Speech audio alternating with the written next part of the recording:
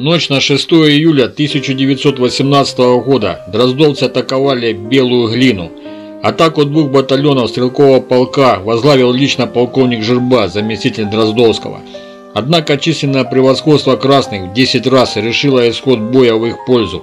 Дроздовцы отошли с большими потерями, не сумев даже вынести раненых с поля боя.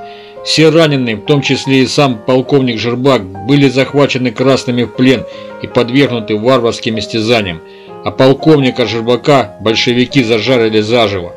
На рассвете генерал Дроздовский лично возглавил атаку, и белая глина была взята.